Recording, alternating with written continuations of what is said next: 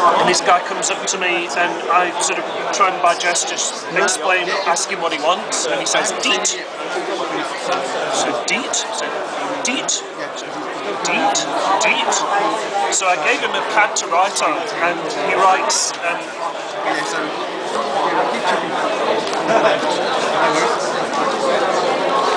Deet? so I said, oh, Deet, Deet. So I drew him a Deet, and there was a lot of Deet drawn that day.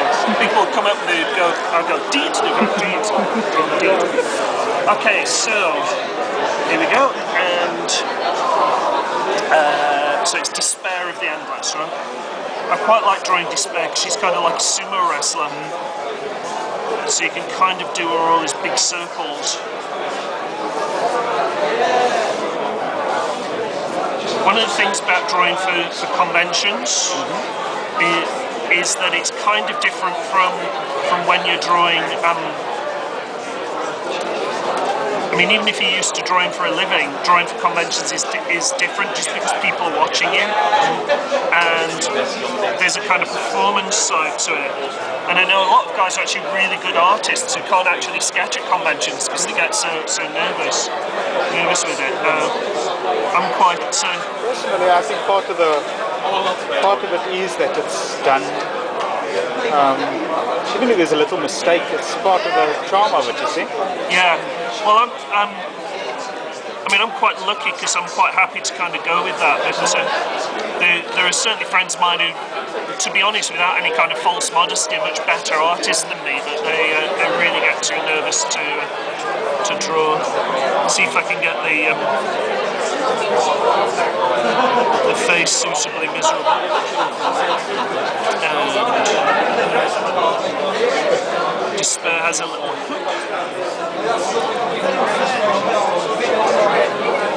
I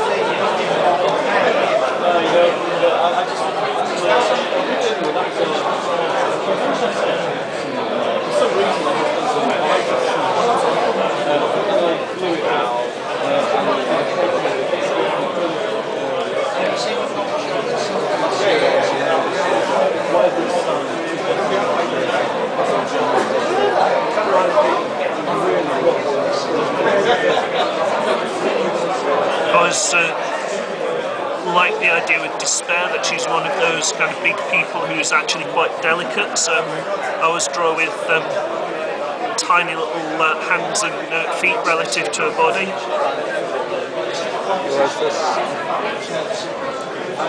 Yeah, I know she. There's a lot more to her than what most Yeah. people see, especially when destruction leaves. He's Yeah, no, she's a, a fascinating character.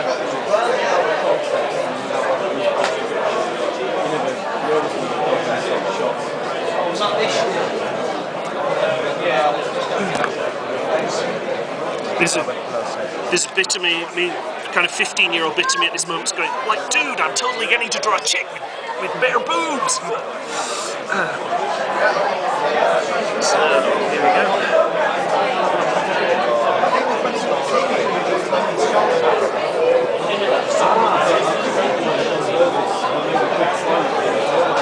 These little pens that I'm using are made by uh, Pentel, and they're really nice because they're like little fountain pens, but they've got a brush head on them, so you can do these great kind of thick and thin curvy lines with them.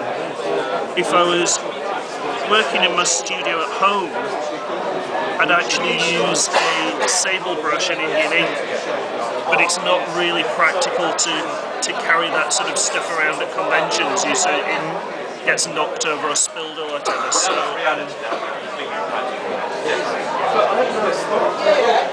this is actually a, a nice kind of solution. So it lets me draw really nice lines without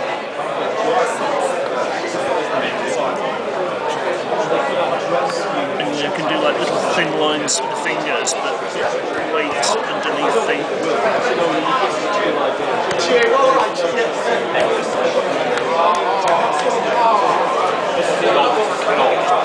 Turn this around, always turn the paper around to work. When, when the the most comfortable angle. There we go.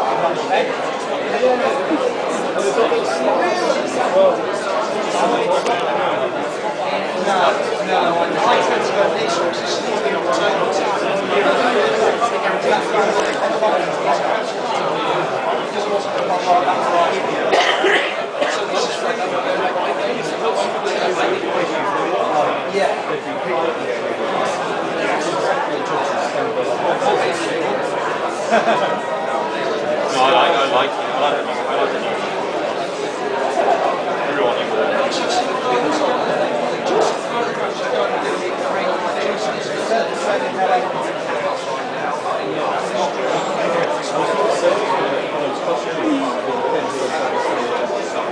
just made a mistake. I can recover from that. Why is it the now?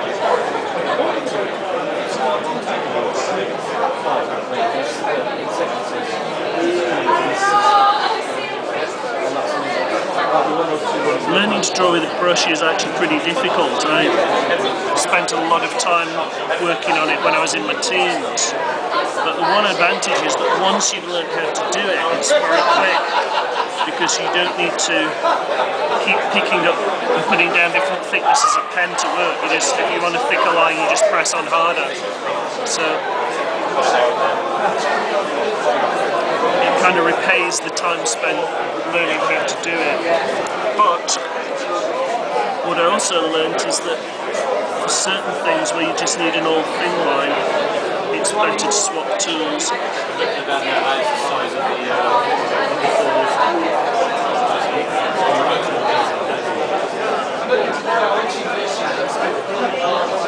of the falls.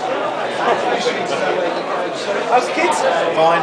Yeah? I've got mine working. Only start school Sunday, you take a photo. Really? Our Tom's off to big school. Yes, senior school, yeah. Our Dan's just finished his first year at uni. Leicester. There we go. There's, uh, Excellent, excellent. Lovely. He's, got, he's just landed himself a part-time job, which is, my wallet went